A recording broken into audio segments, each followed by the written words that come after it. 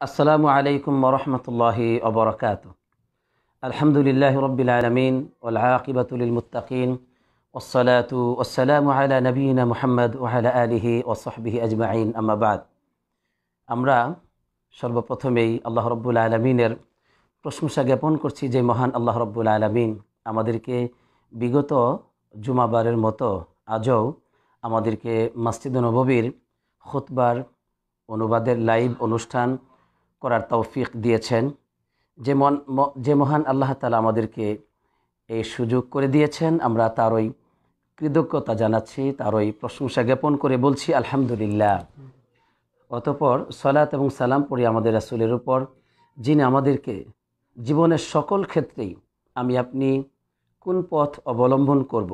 আমাদের জীবনের প্রতিটি মুহূর্তের দিক নির্দেশনা, সফলতার পথ, মুক্তির পথ তিনি আমাদেরকে দেখিয়েছেন। সেই রাসুলের উপর পড়েই সাল্লাহ আলিহি ওসাল্লাম আমার প্রাণপ্রিয় শ্রোতামণ্ডলী, পৃথিবীর যে যেখানে রয়েছেন, আশা করি আল্লাহ তালা আপনাদেরকে ভালো রেখেছেন, সুস্থ রেখেছেন ইমানের উপর অবিচল রেখেছেন। তো আর দেরি নয়, আজকে আমরা আমাদের খোতবার অনুবাদ এখন শুরু করছি।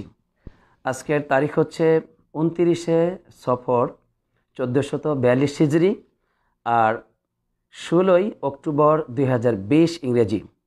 আজকের সম্মানিত খতিব হচ্ছেন ফদিলাতুল শেখ হুসাইন বিন আব্দুল আজিজ আল শেখ হাফিজহুল্লাহ। আজকের খুতবার বিষয় হচ্ছে, পার্থিব জীবনে বালা মুসিবত আসার কারণ এবং তা থেকে মুক্তির উপায়। বিষয়টি অবশ্যই এই মুহূর্তে, বর্তমান যুগে আমাদের খুবই প্রয়োজন। আমরা আজকে জানতে পারব ইনশাআল্লাহ যে আমাদের উপর আসলেই কেন এত বিপদ মুসিবত চলে এসেছে। বিশেষ করে এই যে করোনাকালীন সময় অতিবাহিত হচ্ছে গোটা বিশ্ব যেই মহামারীর আতঙ্কে আতঙ্কিত, ভীত সন্ত্রস্ত, এই মহামারী থেকে, এই ভয়ভীতি থেকে আমি আপনি কীভাবে পরিত্রাণ পেতে পারি এবং এই ভয়ভীতি আসার কারণটা কি, সেই বিষয়গুলো আজকে আমরা শুনতে পারব ইনশাআল্লাহ। আল্লাহ রব্বুল্লা আলমিন যেন আমাদেরকে ধৈর্য সহকারে শোনার তৌফিক দান করেন। শোনার পরে আমরা যেন আমল করতে পারি, অন্যের কাছে আমাদের এই আলোচনা যেন পৌঁছাতে পারি, সেই তৌফিক আল্লাহ তালা আমাদেরকে দান করুক। আমিন। জাজাকুমুল্লাহ খাইরান বারাকাল্লাহু ফিকুম। সম্মানিত খতিব সাহেব আমাদেরকে বলছেন যে, আল্লাহ সুবাহন তাআলা আমাদের জন্য উল্লেখ করেছেন কোরআনুল কারিমে যে, পূর্বের যত উম্মত ছিল, জাতি ছিল তাদেরকে আল্লাহ তালা কেন আজাব দিয়েছিলেন?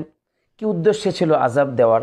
সে সম্পর্কে আল্লাহ সুবাহন তাআলা কোরআনুল কারিমের সুরতুল আরফের চৌরানব্বই নম্বর আয়তের মধ্যে বলছেন, ওমা আরসালনা ফি বিল আমি আল্লাহ রব্বুল আলামিন, আল্লাহ বলছেন, আমি প্রেরণ করেছি তাদের উপর রাসূল বিভিন্ন কৌমে ফি করিয়াতিন জনপদে কোনো নবী রাসূল আমি প্রেরণ করেছি। এরপর যখন তারা সেটাকে অস্বীকার করেছে, ওই নবী রাসূলকে তারা যখন মিথ্যা প্রতিপন্ন করেছে আখদনা আহলাহা বিল বাসা ইউদ্দর্রাই তখন ওই জনপদবাসীকে আমি আল্লাহ রব্বুল আলমিন তাদেরকে অর্থ সংকট দিয়েছি, তাদেরকে দুঃখ যন্ত্রণায় পাকড়াও করেছি। কেন? লা ইয়দ্দর ইয়াদ্দর্রাউন, জাতি করে তারা আল্লাহর কাছে কাকুতি মিনতি করে। এখানে দুটো বিপদের কথা বলা হয়েছে। একটি হচ্ছে আলবাসা, এটা হচ্ছে এমন একটি বিপদ যে বিপদ হচ্ছে অর্থনৈতিক মন্দা বিপদ। মানুষের এই জনজীবনের, তাদের জীবনযাত্রার যে সংকীর্ণতা, অর্থনৈতিক যে মন্দা, এটাকে বলা হয় বাসা, আর দর্র বলা হয় যা মানুষের শারীরিক অসুস্থতা। তো এই যে আল্লাহ রব্বুল আলমিন তাদেরকে শারীরিক অসুস্থতা দিয়েও বিভিন্ন ধরনের রোগ ব্যাধি দিয়েও তাদেরকে পাকড়াও করেছিলেন, আবার তাদেরকে অর্থনৈতিকভাবে ক্ষতিগ্রস্ত করেছিলেন, নাউজুবিল্লাহ। এই দুটো আজাব দিয়ে তাদেরকে আল্লাহ তাআলা পাকড়াও করেছিলেন। কখন? যখন তারা তাদের কাছে নবী ও রাসুলদেরকে প্রেরণ করার পরে ওই নবী ও রাসুলদের পথকে তারা যখন অস্বীকার করেছে, নবীদের প্রতি তারা বিরুদ্ধাচরণ করেছে, তখনই আল্লাহ তাআলা তাদেরকে এভাবে দুই ধরন আজাব দিয়ে তাদেরকে পাকড়াও করেছিলেন, ধ্বংস করেছিলেন, নাউজুবিল্লাহ। সুতরাং সম্মানিত খতিব সাহেব বলছেন যে ওইবাইনুল্লাহ সুবাহান হুয়া তালা হেকমাতা ওকু ইদালিকা ও সাবাবাহু। আল্লাহ সুবাহান হুয়া তালা তাদেরকে আজাব কেন দিলেন? তার রহস্যটা কি সেটাও বর্ণনা করেন এবং তার কারণটা কি সেটাও বর্ণনা করেছেন। কারণটা কি? ওহুয়া ওহুয়া ইলজা উল ইবাদি ইলা তাদর্রুই ইলা রব্বিহিম ওয়াল ইস্তিকানাতি ইলা খালিকিহিম ওয়াল ইনাবাতি ইলা ইলাহিহিম। আল্লাহ রব্বুল আলমিন চান বান্দারা যাতে করে এই আজাব আসার পরে তাদের রবের কাছে তারা অনুনয় বিনয় করে, তাদের রবের কাছে তারা নতি স্বীকার করে, তাদের অপরাধের কথা তারা স্বীকার করে নেয়, আর তারা যেন তাদের মাবুদের কাছে ফিরে যায়। এজন্য আল্লাহ তালা তাদেরকে আজাব দিয়ে থাকে নাউজুবিল্লা আল্লাহ রব্বুল্লা আলমিন চান যে বান্দারা যে কাজ করলে আল্লাহ তালা রাগান্বিত হন, সে পথ থেকে তারা ফিরে আসবে। আল্লাহর কাছে তারা একনিষ্ঠভাবে তওবা করবে। আল্লাহর আনুগত্যকে তারা আঁকড়ে ধরবে। আদেশ নিষেধগুলোকে তারা মেনে চলবে। আল্লাহ শরীয়তের উপর তারা জীবনযাপন করবে। শরীয়তের দিকে তারা যেন ফিরে আসে। আল্লাহ তালার এটাই উদ্দেশ্য। মানুষের উপর অর্থনৈতিক মন্দা সহ তাদেরকে শারীরিকভাবে যে রোগ ব্যাধি দিয়ে থাকেন, এগুলোর কারণ হচ্ছে এটাই।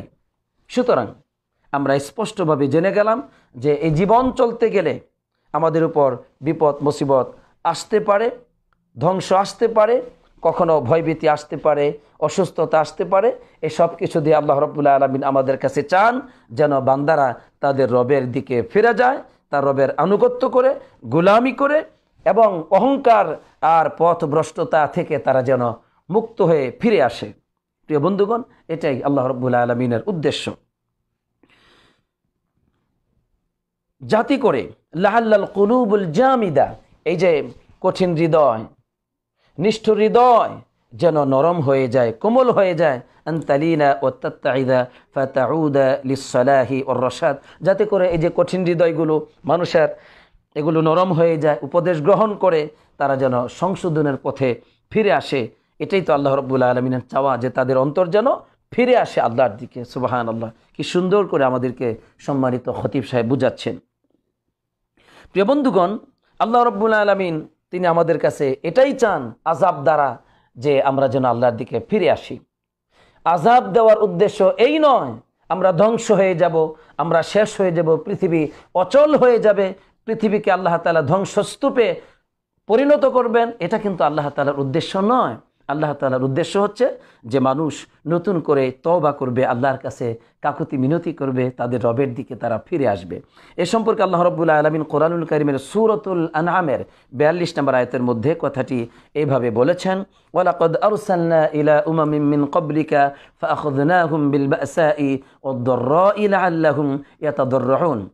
আমি আপনার পূর্বে জাতির কাছে আমি রাসূল প্রেরণ করেছি, আর যখন তারা রাসুলকে অস্বীকার করল ফাখদনা হুমবিল বাসা ইবদ্দর্রই তখনই তাদেরকে আমি পাকড়াও করেছি।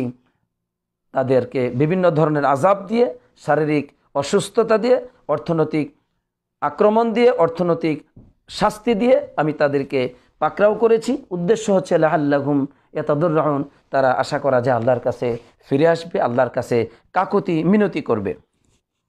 এই আয়াতের তেলাওয়াতের পর সম্মানিত খতিব সাহেব বলছেন, ফায়াজিবু আইয়ু হাসিবাল ইবাদু আংফুসাহুম ওহুম ইয়ারৌনা আল ইবতিলাআত যে গোলামদের উপর ওয়াজিব হচ্ছে যে তারা নিজেদের হিসাব করবে। কি হিসাব করবে? তারা যখন বিপদ, মুসিবত দেখবে, তখন আইয়াউদু বিসিদিকিন ইলা ইলা দিন ইল্লাহি আজ্জাল্লাহ তখন সত্যিকার অর্থে আল্লাহ তালার দিনের দিকে তারা ফিরে আসবে। ও ইউজাদ্দিদু তওবাতান নাসুহা, এবং তারা একেবারেই তওবাকে নতুন করবে, পরিষ্কারভাবে, একনিষ্ঠভাবে আল্লাহ তাআলার কাছে তারা নতুন করে ফিরে যাবে, ক্ষমা প্রার্থনা করবে ও ইউজাদ্দিদু আল আহাদ বিসাইরি আলা সিরাতিল্লাহি আল মুস্তাকিম তখন তারা আল্লাহ তাআলার যে সরল সঠিক পথে তারা ফিরে আসবে, সেই পথে আবার নতুন করে তারা অঙ্গীকারবদ্ধ হবে আল্লাহর কাছে যে আমরা তোমার কাছে ফিরে এসেছি। তোমার দিকে আমরা আবার চলে এসেছি। তুমি আমাদের তওবাকে কবুল করো। এভাবে করে তারা নতুন করে তওবা করবে। নতুন করে আল্লাহর সাথে তারা ওয়াদা বদ্ধ হবে। এটাই আল্লাহ রব্বুল আলমিন চেয়েছেন এই সমস্ত বিপদ, মুসিবত দ্বারা। সুতরাং আজকে আমরা এই দুটো আয়াত থেকে এবং সম্মানিত খতিব সাহেবের এই বাণীগুলো থেকে আমরা বুঝতে পেরেছি যে আজকে যে করোনার যে আতঙ্ক, এই যে করোনা নামক ভাইরাস, এই যে মহামারী গোটা বিশ্বকে আতঙ্ক করে রেখেছে গোটা বিশ্বের জনজীবন আমরা বলব যে অনেকটাই হতাশাগ্রস্ততার মধ্যে চলছে। এই মহামারী থেকে, এই মহা আজাব থেকে যদি আমরা মুক্তি পেতে চাই, তাহলে পথ একটি, আমাদেরকে এক, আল্লাহ তালার দিকে ফিরে যেতে হবে, তার কাছে তবা করতে হবে, ক্ষমা প্রার্থনা করতে হবে, তার সাথে ওয়াদাবদ্ধ হতে হবে যে, আল্লাহ, আমরা যা ভুল করেছি করেছি, এবার তোমার কাছে ফিরে এসেছি, আমরা তোমার শরীয়তকে এই যে মানা শুরু করলাম, আমাদেরকে তুমি ক্ষমা করো, সাহায্য করো, ইনশাআল্লাহ যদি আমরা এভাবে ফিরে আসতে পারি, তাহলে এই বিপদ থেকে আল্লাহ আমাদেরকে বাঁচাবেন বলে আশা পোষণ করছি ইনশাআল্লাহ। এরপরে সম্মানিত খতিফ সাহেব অত্যন্ত দুঃখের সহিত একটি কথা বলেছেন যে, সবচাইতে বড় বিপদ আসলে কোনটি? ফাইন্না আযমাল মাসাইব আন তামুররাল ইবতিলাআত ফালা তালিনা বিহাল কুলুবু ওয়ালা তাউদু বিহা আল জাওয়ারিহু ইলা রাব্বিহা। আল্লাহু আকবার। যে সবচাইতে বড় বিপদ হচ্ছে মানুষের উপর বিপদ যখন অতিক্রম করে, এই বিপদ আসার পরেও মানুষের হৃদয় নরম হয় না, কোমল হয় না।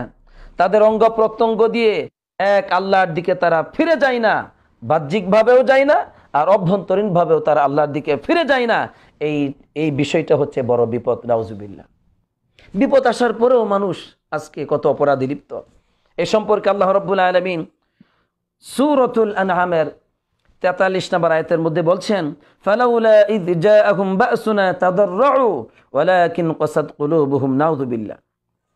যখন তাদের কাছে বিপদ আসলো, যে বিপদ আসলে পরে তাদাররু তারা আমি আল্লাহর কাছে কাকতি মিনতি করবে, আমার দিকে ফিরে আসবে, আমার কাছে তারা ক্ষমা প্রার্থনা করবে, কিন্তু তা হলো না বিপদ আসলে। কি করল? ওয়ালাকিন কাসাদ কুলুবুহুম, তাদের অন্তর শক্ত হয়ে গেল, কঠিন হয়ে গেল, নিষ্ঠুর পাথরে পরিণত হয়ে গেল নাউজুবিল্লা বিপদ আসলেও যেখানে কোমল হবে হৃদয়, কোমল না হয়ে আরও শক্ত হলো। তখন এর মানে তারা ওই কুফুরি এবং সিরিকি যত অন্যায় পাপাচারের পথেই তারা লিপ্ত রইল। ওয়াজাইয়ান আলহুম শৈতানু মা কানু আমালুন তারা যা করত তাদের পাপের পথ, অন্যায়ের পথ, শিরিকের পথ, এটাকে শয়তান তাদের কাছে সুন্দর করে উপস্থাপন করল নাউজুবিল্লা এর মানে যে তারা ঠিক পথে আছে আর কোনো সমস্যা না, তারা ভালোই আছে।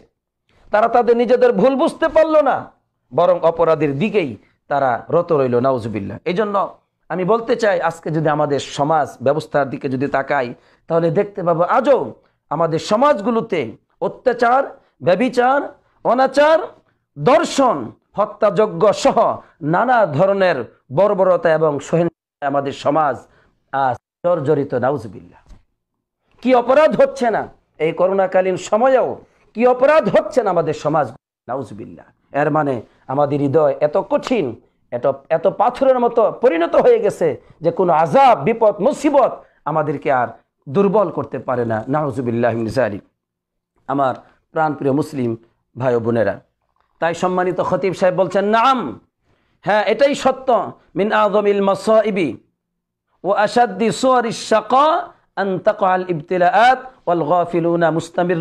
গাফলাতিহিম ফাসিদুনা ফাসাদিহিম বিল্লাহ। তিনি বলছেন, নাম হ্যাঁ এমনটি সবচেয়ে বড় বিপদ হচ্ছে সবচেয়ে বড় দুর্ভাগ্যের বিষয় হচ্ছে, মানুষের উপর বিপদ অতিক্রম করে আর উদাসীনরা তখন তারা উদাসীনতার মধ্যে নিমজ্জিত থাকে, নাউজুবিল্লাহ। ফাসাদ সৃষ্টিকারীরা, অন্যায়কারীরা, দুর্বৃত্তরা, তারা তাদের অপরাধের জীবনেই লিপ্ত থাকে, তাদের, তারা ফাসা সৃষ্টির মধ্যেই তারা নিমজ্জিত থাকে, নাউজুবিল্লাহ। এটা হচ্ছে সবচেয়ে বড় বিপদ। সুতরাং আজকে তাই আমরা দেখতে পাচ্ছি আমাদের সমাজগুলিতে যে এই বিপদ আসার পরেও মানুষের যে পাপের দিকে তাদের যে নিশা, পাপের প্রতি তাদের যে আকর্ষণ, সেটা বিন্দু মাত্রাও কমে নাই, বরং যেন আরও বহুগুণে বৃদ্ধি পেয়েছে। এটাই হচ্ছে ধ্বংসের আলামত, এটাই হচ্ছে আমাদের পদস্খলনের এক বড় আলামত, নাউজুবিল্লাহ। তাই নোহমান বিন বাসির রদিয়াল্লাহ তালানহু তিনি বলছেন, ইন্নাল হালাকা কুল্লাল হালাকা আন্তা আমালা আমালা সু ফি জামানিল বালা এই বর্ণনাটি এসেছে ইবনে আবি ইবনে আবি সাইবা তার মুসানেব গ্রন্থে উল্লেখ করেছেন যে নোমান বিন বাসির বলছেন, ধ্বংস, সকল ধ্বংস, অর্থাৎ সবচাইতে বড় ধ্বংসের আলামত হচ্ছে যে তুমি বিপদ, মুসিবতের সময় পাপ কাজ করে থাকো, নাউজুবিল্লাহ। সবচাইতে ধ্বংসের বড় আলামত হচ্ছে এই, তোমার উপর যখন বিপদ, মুসিবত এসেছে ঠিক সেই মুহূর্তে তুমি পাপে লিপ্ত থাকো। এটাই হচ্ছে বড় আলামত। ধ্বংসের, নাউজুবিল্লাহ মিসালি প্রিয় বন্ধুগণ, তাই আল্লাহ তাআলা তিনি অহংকারী কাফেরদেরকে সতর্ক করে বলেছেন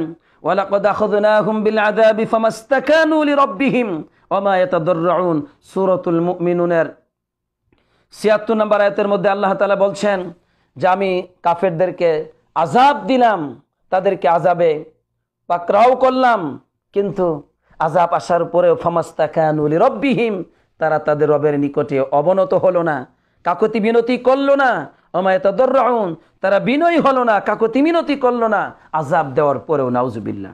অর্থাৎ আমি যখন তাদেরকে আজাব দিলাম, যে আজাবে তারা ভীত সন্ত্রস্ত হবে, আমার কাছে তারা ভেঙ্গে পড়বে, প্রকাশ্যে অপ্রকাশ্যে, কিন্তু তা না করে বালিস্তামারুফি গাইহিম অদলালিহিম তারা তাদের অন্যায়ের মধ্যে, পথভ্রষ্টতার মধ্যেই অটল রইল নাউজুবিল্লাহ নাউজুবিল্লাহ। এটা হচ্ছে সবচাইতে বড় ধ্বংসের আলামত। আজকে যে আয়াত কাফেরদের সম্পর্কে আল্লাহ তালা বলেছেন, যে আয়াত অহংকারী কাফেরদের সম্পর্কে বলেছেন, যে তাদেরকে আজাব দেওয়ার পরেও তারা আমার দিকে ফিরে আসে নাই। এই আয়াতের বাস্তব চিত্র আজকে আমাদের মুসলিম সমাজেই পরিলক্ষিত হচ্ছে, নাউজুবিল্লাহ। আজ পেপার পত্রিকার দিকে তাকালেই দেখা যায় হত্যা, নারী দর্শন নারী দর্শন, হত্যা, শিশু, কিশোর, কিশোরী ধর্ষণ, এগুলো এই ধরন হাজারো সহিংসতায় আমাদের সমাজ আজ বরপুর নাউজুবিল্লাহ মিন নাউজুবিল্লাহ হে আল্লাহ। এই মহা আজাব থেকে, এই মহা কুদৃশ্য থেকে, এই অন্ধকারচ্ছন্নময় পরিবেশ থেকে তোমার রহমতের রুসিল আমাদেরকে তুমি বাঁচাও। আমিন আমিন। আমার বন্ধুগণ, এবার সম্মানিত খতিব সাহেব তিনি আমাদেরকে আরও সুন্দর করে বুঝাচ্ছেন যে এই যে বিপদ, মুসিবত আমাদের উপর এসেছে। এই বিপদ, মুসিবত নিয়ামতে ততক্ষণ পর্যন্ত পরিবর্তন হবে না। এই বিপদ, মুসিবত এগুলো সুখ শান্তি, এগুলো সুখ শান্তিতে ততক্ষণ পর্যন্ত পরিণত হবে না। যতক্ষণ পর্যন্ত ইল্লা বিদাউবাতিল ইবাদি ইলা রব্বিহিম ওর রুজু ইলা খলিকিহিম। বান্দারা যতক্ষণ পর্যন্ত তাদের রবের কাছে, তাদের রবের কাছে তবা না করবে তাদের রবির দিকে যতক্ষণ পর্যন্ত ফিরে না যাবে, সৃষ্টিকর্তার দিকে ফিরে না যাবে, ততক্ষণ পর্যন্ত এই বিপদ, মুসিবতগুলো, এগুলো সুখ শান্তিতে পরিবর্তন পরিণত হবে না। সুতরাং তবার মাধ্যমেই আমরা সুন্দর জীবনে ফিরে আসতে পারি, সুন্দর জীবন আল্লাহ আমাদেরকে দিতে পারেন। তাই তিনি বললেন যে হ্যাঁ এভাবেই আল্লাহ তালা তার বান্দাদের উপর দয়া করবেন। যখন বান্দারা আল্লাহর কাছে তবা করবে, তখন আর তাদেরকে আল্লাহ তালা নিয়ামত দিবেন, তাদের উপর থেকে বিপদকে উঠিয়ে নেবেন, তাদের উপর যে মহা কঠিন পরীক্ষা এসেছে, এগুলো সব কিছু দৃঢ়ত করে দিয়ে আল্লাহ তালা তাদেরকে সুন্দর জীবন দিবেন। যখন তারা এক আল্লাহর আনুগত্য করবে, তার দিকে ফিরে যাবে। সুবহান আল্লাহ সুতরাং আমি আপনি আজকে সত্যি যদি মনে করি যে আমরা আমরা বিপদে আছি আমরা সত্যি অর্থনৈতিক দুর্বলতার মধ্যে আছি। অর্থনৈতিক মহামন্দা আমাদের উপর দিয়ে অতিক্রম করছে এবং এতে আমরা কষ্ট পাচ্ছি। তাহলে আমি আমাকে এবং আমার প্রিয় দর্শকদেরকে বলব, আসুন আমরা সবাই ব্যক্তিগতভাবে, পারিবারিকভাবে আমরা ফিরে যাই। আমরা পারিবারিক, পারিবারিকভাবে ফিরে যাই। আমি আপনি ফিরে যাই। অন্তত আমি আপনিও যদি ফিরে যেতে পারি, তাহলে ইনশাল্লাহ আশা করি আমাদের দ্বারা অসংখ্য মানুষের উপর থেকে আল্লাহ তালা বিপদ উঠিয়ে নিতে পারেন ইনশাআল্লাহ। ইনশাআল্লাহ, আল্লাহ তালা তুমি কবুল করে নাও, আমিন।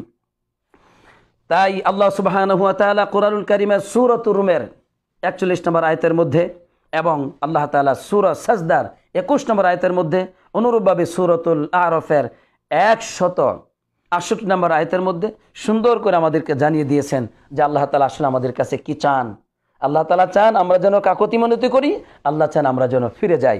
এজন্য সুরত রুমের একচল্লিশ নম্বর আয়তের মধ্যে আল্লাহ বলেন ظهر الفساد في البر والبحر بما كسبت أيدي الناس ليذيقهم بعض الذي عملوا لعلهم يرجعون স্থলভাগে এবং জলভাগে যে বিপর্যয় সৃষ্টি হয় যে বিপর্যয় প্রকাশ পায় এগুলো মূলত মানুষের দুহাতের উপার্জন নাউজুবিল্লা আল্লাহ তালা বলছেন মানুষ এই সমস্ত বিপদ মুসিবত এই বিপর্যয়কে তারা উপার্জন করে এরপর আল্লাহ তালা কি করেন লিউদি কহুম্বাউদ্দি আমিলু তারা যে অন্যায়, অপরাধ কাজ করেছে, এই অপরাধের কিছুটা শাস্তি আল্লাহ তালা তাদেরকে শাস্তির স্বাদ আস্বাদন করেন।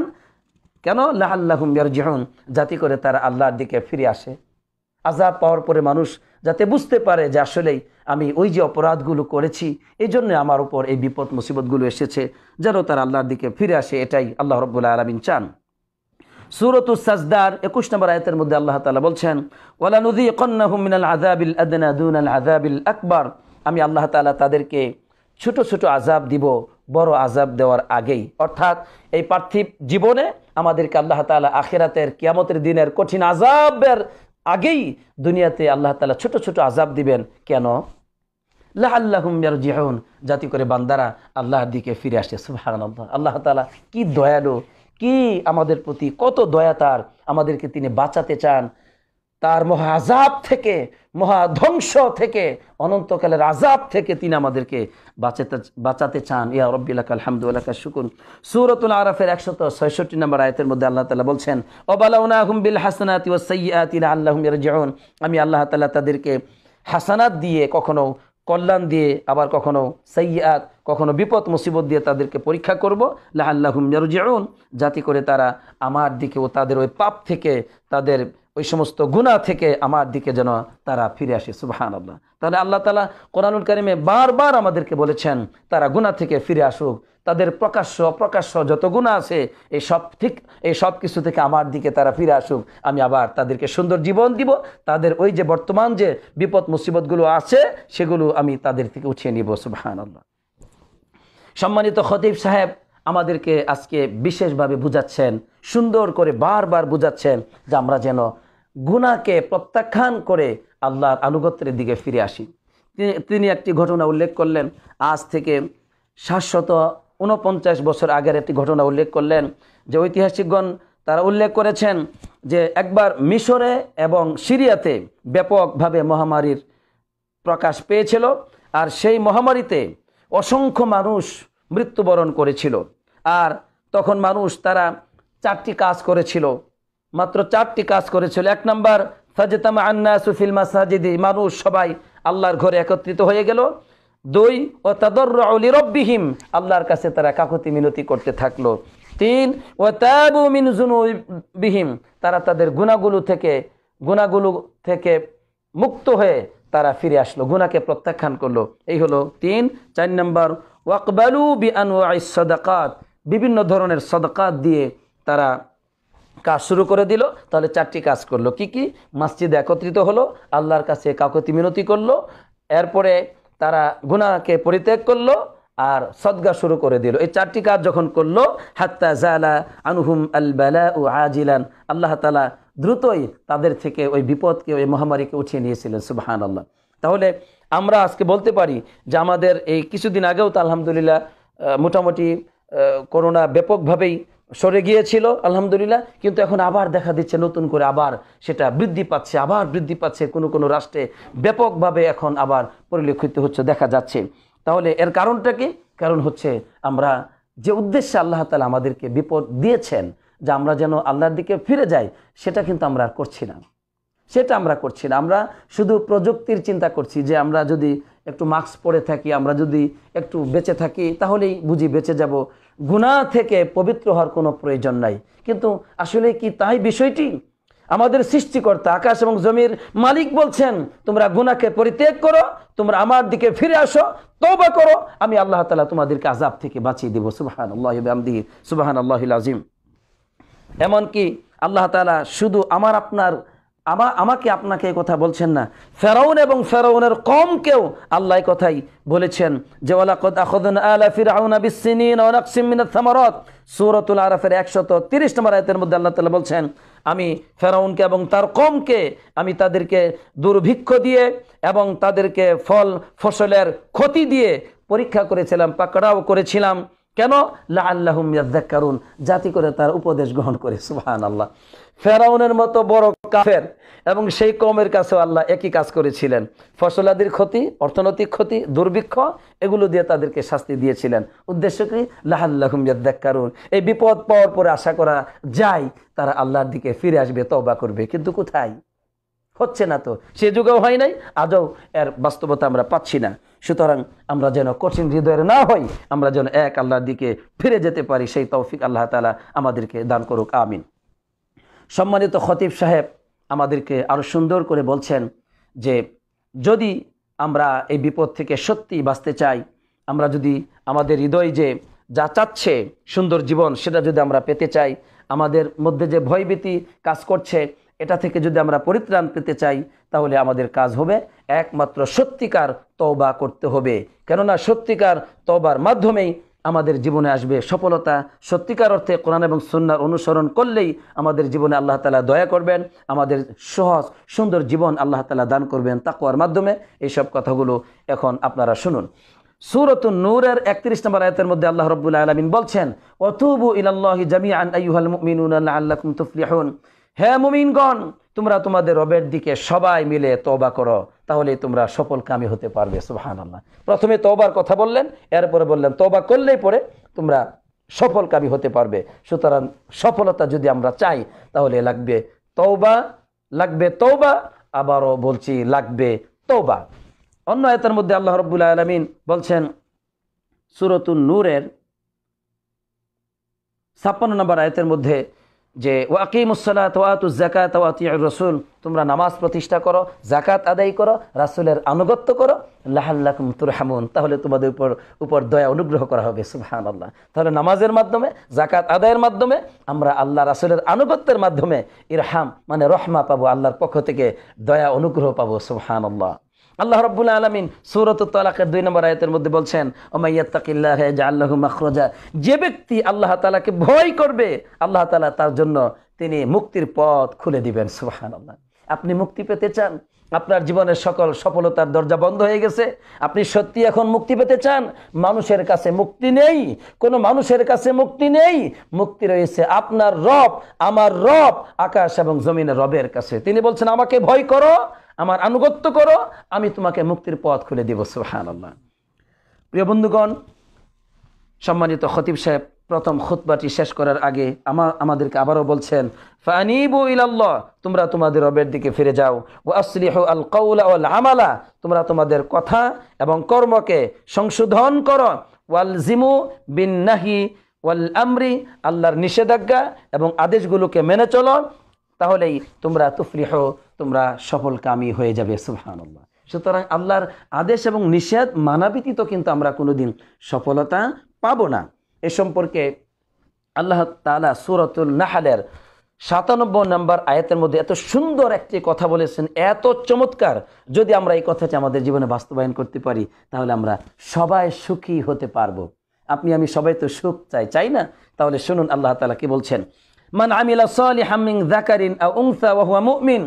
যে ব্যক্তি পুরুষ হোক অথবা নারী হোক, সৎ আমল করবে, সৎ আমল লাগবে। ও হুয়া মুমিন এবং সে ইমান এনেছে আল্লাহর উপর। তাহলে প্রথমে ইমান আনতে হবে। ইমান আনার পরে সৎ আমল করতে হবে। যে ব্যক্তি সৎ আমল করবে ইমান আনার পরে ইমানদার তো আমরা সবাই। চলবে না এসব, সবাই ইমানদার হলে চলবে না। ইমানের সাথে সাথে আমল কয়জনে করেছি সেটা হচ্ছে মূল বিষয়। আল্লাহ তালা বলছেন ইমান আনার পরে যখন তার আমল করবে, সে পুরুষ হোক অথবা নারী হোক ফালানুহিয়ান্নাহু হায়াতাং তৈবা। আমি আল্লাহ রব্বুল আলমিন অবশ্যই অবশ্যই ওই নারীকে, ওই পুরুষকে আমি আল্লাহ তালা একটি পবিত্র, সুখময়, সমৃদ্ধময়, সুন্দর জীবন দান করব। সুবাহান আল্লাহ আপনি চান না সুন্দর জীবন? তাহলে ইমান আনার পরে সৎ আমল করুন। আমল যত বৃদ্ধি পাবে, আমল যত সুন্দর হবে, আপনার জীবনকে আল্লাহ তালা তত সুন্দর করে সাজিয়ে গুছিয়ে আপনার হাতে তুলে দিবেন। আলহামদুলিল্লাহ। আল্লাহ তালা যেন আমাদেরকে কবুল করেন। আমিন। এখানে প্রথম খুতবাটি শেষ।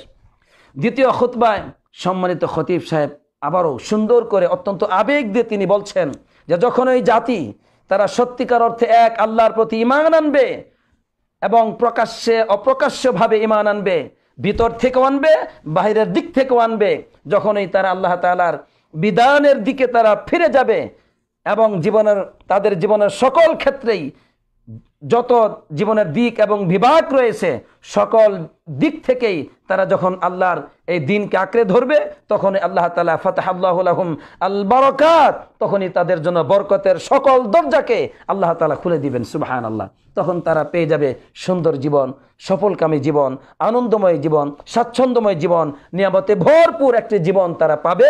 এই ওয়াদা আল্লাহ তালা সুরতুল আরফের ছিয়ানব্বই নম্বর আয়তের মধ্যে এইভাবে দিয়েছেন। আল্লাহ তালা বলছেন, ওয়ালাউ আন্না আহলাল কুরা আমানু, ওয়াত্তাকাউ লাফাতাহনা আলাইহিম বারাকাতিম মিনাস সামাই ওয়াল আরদ। যদি জনপদবাসীরা এক আল্লাহর প্রতি ঈমান আনে এবং আল্লাহকে যদি তারা ভয় করে চলে, তাহলেই আমি আল্লাহ তালা তাদের জন্য আকাশ থেকে, জমিন থেকে বরকতের দরজাগুলোকে খুলে দিব। সুবহান আল্লাহ আকাশও আপনার জন্য বরকতের দরজা খুলে দেওয়া হবে। আকাশ থেকে, জমিন থেকে উর্বর জমিনে আল্লাহ তালা পরিণত করে দিবেন। সেখানে বিভিন্ন ধরনের নিয়ামত দিয়ে এই জগৎকে, এই জমিনকে আল্লাহ তালা ভরপুর করে দিবেন। আল্লাহ তালা এই ওয়াদা দিয়েছেন। তবে শর্ত কি? ইমান আনতে হবে আর আমল করতে হবে। কিন্তু আল্লাহ বলছেন, না। ওলা কিন কাদ্দাবু কিন্তু তারা আল্লাহকে মিথ্যা প্রতিপন্ন করল, আল্লাহর দিনকে মিথ্যা প্রতিপন্ন করল, আল্লাহ রাসুলদেরকে মিথ্যা প্রতিপন্ন করল। এই জন্য আমি কি করলাম? আহুম বিমা কানু একসিবুন তাদের কৃতকর্মের জন্য আমি তাদেরকে শক্তভাবে পাকড়াও করলাম, নাউজুবিল্লাহ। প্রিয় ভাইয়ের আমার, এখানে দ্বিতীয় খুতবাটি শেষ হয়ে গেল। আজকের খুতবা থেকে আমরা যা জানতে পেরেছি যে এই পার্থিব জগতে কেন বিপদ মুসিবত আসে, কেন আসে? যদি প্রশ্ন করি আপনাদেরকে, কি বলবেন? এই জগতে বিপদ, মুসিবত আসে, আল্লাহর অবাধ্য হলে। নবীদেরকে অস্বীকার করলে, আল্লাহর কিতাবকে অস্বীকার করলে, কোরআন এবং সুন্নার বিপরীত পথে জীবনযাপন করলে পরে আমাদের জীবনে বিপদ, মুসিবত আসে। আপনি অসংখ্য অপকর্মে লিপ্ত হবেন যখন এবং যখন কোরআন এবং সুন্না আপনি মানতে পারবেন না। এজন্য যত অপবিত্র মানুষ আজকে আমরা দেখতে পাচ্ছি সমাজে, যত ফাসাদ সৃষ্টিকারী, যত দুর্বৃত্তদের আগমন এই সমাজে, কারণ একটি, তারা একজনও আল্লাহ তালার আনুগত্য করে না। এই জন্য আমাকে আপনাকে আল্লাহর আনুগত্য না করলেই কিন্তু দুনিয়াতে বিপদ মুসিবত আসে। দুই, এই বিপদ মুসিবত থেকে আমরা মুক্তি পাবো কীভাবে? যদি আল্লাহর দিকে ফিরে যাই। যদি সুন্দর জীবন চাই, সাফল্যময় জীবন চাই, বরকতময় সমাজ চাই, রাষ্ট্র চাই, জীবন চাই, পরিবার চাই, তাহলে আল্লাহর আনুগত্য করতে হবে। আল্লাহর দিনকে শক্তভাবে আঁকড়ে ধরতে হবে জীবনের সকল দিক এবং বিভাগে। আমরা শুধু নামাজের দিকে গিয়েছি। যদি নামাজের দিকে যাই, সেই সাথে অন্য অন্য দিকেও আমাদেরকে যেতে হবে। শুধু রোজা পালন করছে অন্য অন্য পাপগুলি ছেড়ে দিচ্ছে না, তা না।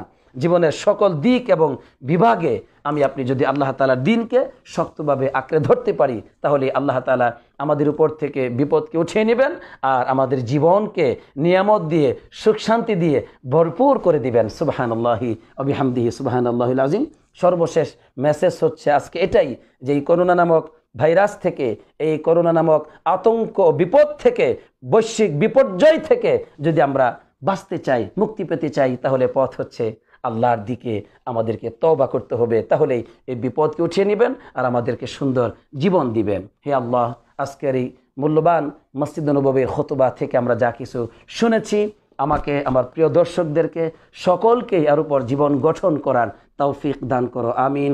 আসসালাতু আসসালামু আলা নবীনা মুহাম্মদ ওয়া আলা আলিহি ওয়া সাহবিহি আজমাইন